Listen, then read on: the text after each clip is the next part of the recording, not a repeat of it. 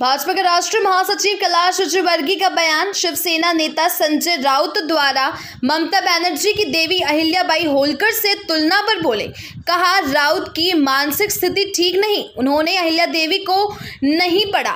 उन्हें अपने बयान के लिए माफ़ी मांगनी चाहिए। सरकार और प्रशासन कोरोना की तीसरी लहर को देखते हुए तैयारी में जुटे। सभी अस्पतालों का विस्तार हो रहा। सभी जगह जुटाई जा रही सुविधाएँ। ऑक्सीजन और रेमडेसिविर भी पर्याप्त। पंद्रह दिनों में पर्याप्त मात्रा में वैक्सीन के डोज उपलब्ध होंगे। हमारा वैक्सीनेशन बढ़ाने पर सबसे ज़्यादा ज़ोर। सरकारें ग्लोबल टेंडर से सीधे कंपनियों से वैक्सीन मंगा सकते हैं। उषा ठाकुर के यज्ञ वाले बयान को पर्यावरण शुद्धि के लिए ठीक बताया। रेमडेसिविर के उपयोग को लेकर वैज्ञानिकों और डॉक्टरों की अलग अलग राय। चालू हो गया और इसका तैयार रखा हमने नेहरू भी किया। और जैसा आपने बोला भाई साहब ने भी तैयार अभी क्या मरीज़ की संख्या कम हो गई। कम हो गई। नहीं करेंगे। थर्ड देखिए थर्ड के लिए ही बहुत ज़रूरी है कि वैक्सीनेशन अगर हो जाएगा तो थर्ड का प्रभाव कम होगा। इसलिए फोकस ऑफ़ वैक्सीनेशन वैक्सीनेशन करेंगे पर हॉस्पिटल इंफ्रास्ट्रक्चर भी बढ़ाएँगे और उसमें लगने वाली जितनी भी आवश्यकताएँ चाहे वो ऑक्सीजन हो चाहे अन्य सामग्री हो उसका पहले से ही प्रयास करेंगे कि थर्ड फ़ेज़ आने के पहले हमें किसी प्रकार की असुविधा हो। वैक्सीनेशन पर प्रयोग चल रहे हैं और अ, कल ही मैं नेट पर देख रहा था एक साइंटिस्ट ने कहा कि जो प- ये वैक्सीन है इसको भी बच्चों में उपयोग किया जा सकता है। तो शायद जो अभी हमारे पास उपलब्ध वैक्सीन है उसका उपयोग भी बच्चों के लिए हो सकता है पर उसमें टेस्टिंग चल रही है। यदि वही वैक्सीन बच्चों में भी काम आ जाएगा उसकी क्वांटिटी कम होगी तो मैं समझता हूँ कोई परेशानी नहीं होगी बच्चों को भी वैक्सीनेशन हो जाएगा।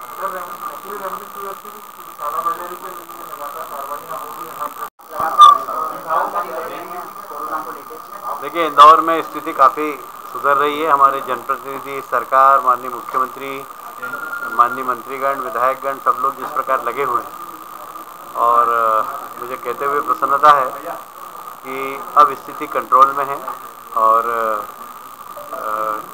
अब पॉजिटिव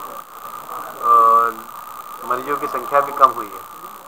तो मुझे लगता है कि इंदौर में जिस प्रकार स्थिति बिगड़ी थी, बहुत ही संजीदगी के साथ हमारे मंत्री जी, तुलसी सिलावट जी, रमेश जी और पूरे विधायकों की टीम और अधिकारियों ने बहुत अच्छे से संभाला। ये समझ में आ गया कि भविष्य के लिए भी हमको चिंता करना पड़ेगी।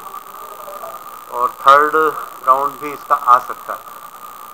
मुझे बहुत प्रसन्नता है कि सब जनप्रतिनिधियों ने भी इसमें चिंता प्रकट की है। इसी कार्यक्रम में आज मैं ये पहले टीबी हॉस्पिटल था, राज्य सरकार का, पर काफ़ी दिनों से बंद पड़ा हुआ था। यहाँ पर स्टाफ स्वीकृत लगभग छः डॉक्टर एमडी यहाँ पर हैं। इसके अलावा स्टाफ भी है। रमेश जी ने बिड़ा उठाया, तुलसी सिलावट जी, राजेंद्र जी, राज कपूरा जी हमारे पार्षद इन लोगों ने बिड़ा उठाया कि इस हॉस्पिटल को जन सहयोग से चलाना। इसमें चूँकि श्रम मंत्रालय का है ये तो राज्य सरकार का सहयोग भी लगेगा।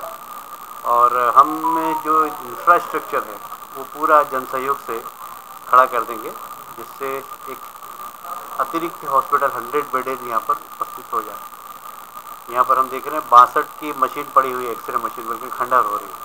तो यहाँ एक्सरे मशीन एमआरआई मशीन ये सब हम जन सहयोग से लाएँगे। और एक अच्छा हॉस्पिटल यहाँ पर बनाने की कोशिश करेंगे। मुझे उम्मीद है कि हमारे माननीय मंत्री तुलसी सिलावट जी, रमेश जी, हमारे पार्षद महोदय, राजेंद्र जी, राज कपूरा जी, ये सब लोग जिस प्रकार मेहनत करके काम कर रहे तो तीन महीने में हॉस्पिटल कंप्लीट हो जाएगा। और सारी, पूरा इंफ्रास्ट्रक्चर हम यहाँ पर खड़ा कर देंगे। जहाँ एक हॉस्पिटल के अंदर जो सुविधाएँ मिलना चाहिए, वो सारी सुविधाएँ होगी। और ये मैं जवाबदारी से कह रहा हूँ कि रमेश जी अगर हाथ में बीड़ा ले रहे हैं तो एक प्राइवेट हॉस्पिटल से अच्छा हॉस्पिटल है। और एक अच्छी व्यवस्था मिल के अंदर यहाँ पर चिकित्सा सेवा की प्रारंभ हो हाँ जैसे ये सेंट्रल गवर्नमेंट का ये सही हॉस्पिटल है, पास में यहाँ पर भी 200 बेड बढ़ा रहे हैं। यहाँ कोविड का वार्ड भी तैयार किया गया है। और यहाँ अभी एक ऑक्सीजन प्लांट जन सहयोग से सवा करोड़ का हमने अभी स्वीकृत करा दिया हमारे एक मित्र की कंपनी से सीएसआर से। एक और कंपनी से बात करके एमआरआई मशीन और एक्सरे मशीन भी यहाँ पर आ जाएगी। तो ये सारी सुविधाएँ हम करवा देंगे। तो जो एक हॉस्पिटल के अंदर इक्विपमेंट्स होना चाहिए वो सारे इक्विपमेंट्स यहाँ पर हम लाने की कोशिश करेंगे। देखिए देश के अंदर इंदौर एकमात्र ऐसा शहर है जहाँ ऑक्सीजन की शॉर्टेज भी नहीं हुई और सरप्लस ऑक्सीजन है हमारे पास। हम आसपास के ज़िलों में भी ऑक्सीजन दे रहे हैं। जो जनसहयोग से हमें पीतमपुर से ऑक्सीजन मिल रही थी, वो लगभग साढ़े पाँच हज़ार सिलेंडर रोज़ मिल रही थी। अब वहाँ से हमारे सिलेंडर उठना भी कम हो गया। आज मुझे पता लगा कि आज हज़ार ही सिलेंडर वहाँ से उठे हैं। तो अभी हमारे पास ऑक्सीजन भी सरप्लस है। पर हम भविष्य के लिए भी ऑक्सीजन की तैयारी करके रखेंगे। और, बाकी वैक्सीन के लिए भी सरकार से बात चल रही पंद्रह दिन बाद वैक्सीन भी यहाँ पर आ जाएगा। तो जो अभी 45 के एज के और एटीन प्लस के लिए जो इंजेक्शन वैक्सीन है, वो 15-20 दिन में लगा प्रारंभ कर देंगे। क्योंकि थर्ड फ़ेज़ आने के पहले हम चाहेंगे कि वैक्सीनेशन बहुत अच्छा हो जाए। तो उसके लिए भी हम प्रयास कर रहे हैं कि वैक्सीन यहाँ पर आ जाए। तरह की अपनी पार्टी कैबिनेट मंत्री उषा ठाकुर जी कोरोना से यज्ञ से कोरोना भगाने की बात करें तो फिर इतनी व्यवस्थाएँ थी इंतज़ाम थी जब यज्ञ से कोरोना भाग जाएगा तो। देखिए, कई लोगों के अलग अलग मत है। यज्ञ भी विज्ञान। इसको ऐसा नहीं मानना चाहिए कि यज्ञ कोई धर्म है। ये धार्मिक या ये एक विज्ञान है और इसको लोगों ने सिद्ध किया है। यज्ञ के माध्यम से वर्षा हुई है। यज्ञ के माध्यम से क्योंकि अब वायरल है, लोगों ने कहा है कि कोविड के जो महामारी, वो हवा से भी फैल सकती है। तो हवा के शुद्धिकरण के लिए यज्ञ किया जा सकता है।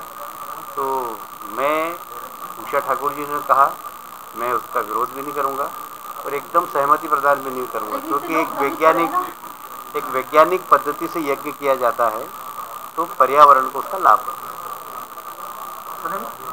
प्रारंभ हुआ था तो हमारे देश के कुछ राजनीतिक दलों ने इसमें राजनीति की। छत्तीसगढ़ के मुख्यमंत्री ने कह दिया कि हम वैक्सीनेशन नहीं करेंगे।